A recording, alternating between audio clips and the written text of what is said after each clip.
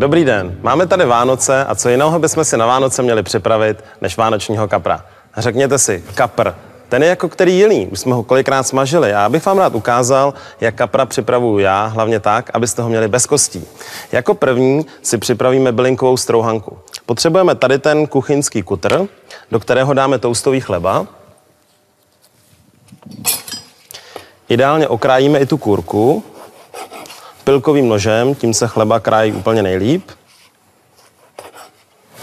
To nám bude stačit. Ty kurky můžeme použít třeba na knedlíky. Předám do kutru. Jako další budou bylinky. Máme tady velkolistou petržel. Nakrájíme na menší kousky. Přidáme k toustovému chlebu. Trochu tymiánu. Tymián se s rybama skloubí velice dobře, stejně tak s naším kaprem. Toustový chleba, bylinky už mám všechny uvnitř, teď přiklopím a kuchyňským mixerem rozmixuju na čerstvou strouhanku. Po rozmixování strouhanka nám krásně voní po bylinkách. Zároveň Strouhanka na kaprovi díky tomu, že je čerstvá, bude krásně nadejchaná a křupavá.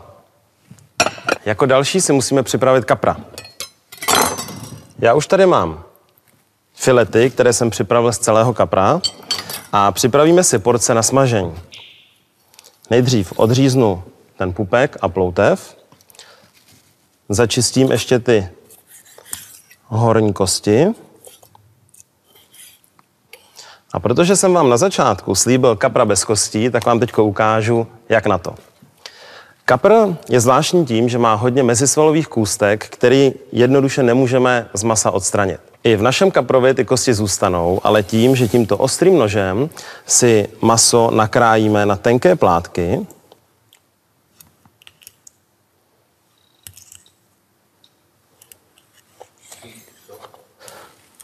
Prokrajuji maso až ke kůži a tím všechny malé kosti překrájím. Oni v mase zůstanou, ale po usmažení je při jídle nebudeme cítit. Ne?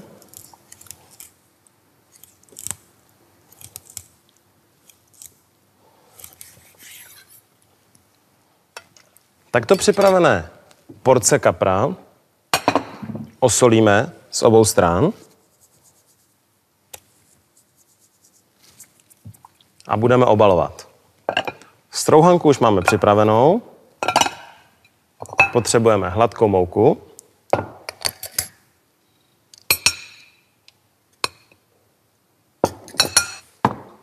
Čerstvá vejce.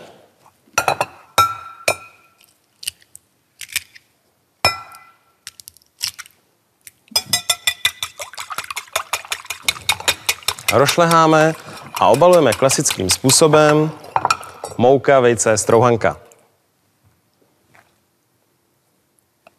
Při obalování dáváme pozor, aby nám maso drželo hezky pohromadě.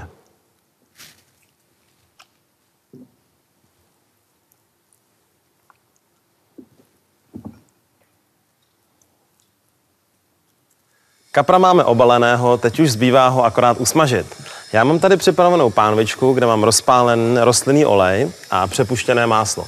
Přepuštěné máslo je něco, co dá kaprovi tu krásnou máslovou chuť při smažení. Zkontroluji, jestli je olej dostatečně rozpálen. Ano. Vkládám porce do pánve. Smažíme do zlatova. Přidám přepuštěné máslo. Při smažení kapra v bylinkové strouhance musíme být dvojnásobně opatrní, abychom ho nespálili. Za prvé máme tam bylinky, které se lehce pálí a za druhé i ta čerstvá strouhanka je daleko náchylnější na spálení, jak běžná suchá strouhanka. Já už můžu porci pomalu otáčet.